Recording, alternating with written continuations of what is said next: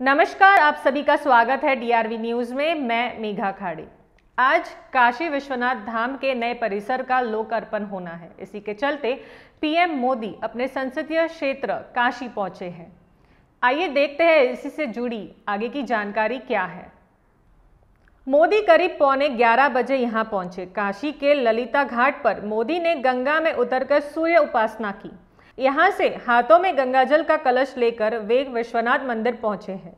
इससे पहले सवा ग्यारह बजे उन्होंने काल भैरव मंदिर में पूजा की। पूजा के बाद वे पैदल ही खिड़किया घाट तक गए। यहाँ से मोदी क्रूज में बैठकर वे ललिता घाट पहुँचे थे।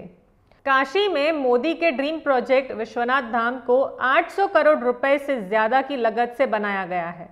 इसमें श्रद्धालुओं की सुविधाओं का विशेष ध्यान रखा गया है। प्राचीन मंदिर के मूल स्वरूप को बनाए रखते हुए पाँच लाख सत्ताईस हज़ार वर्ग फीट से ज़्यादा क्षेत्र को विकसित किया गया है।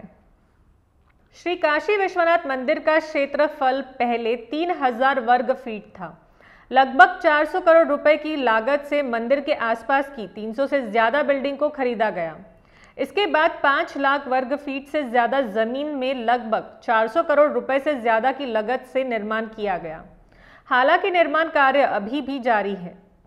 इसमें प्रमुख रूप से गंगा व्यू गैलरी, मणिकर्णिका जलासन और ललिता घाट से धाम आने के लिए प्रवेश द्वार और रास्ता बनाने का काम है। गौरतलब है कि धाम के लिए खरीदे गए भवनों को नष्ट करने के दौरान 40 से अधिक मंदिर मिले।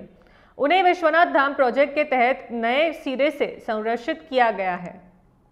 डीआरवी न्यूज़ में बस अभी के लिए इतना ही। डीआरवी न्यूज़ चैनल को सब्सक्राइब कीजिए, इस पर कमेंट, इसे लाइक और शेयर करना बिल्कुल ना भूलिए। मुझे और मेरी पूरी टीम को दीजिए इजाज़त। धन्यवाद।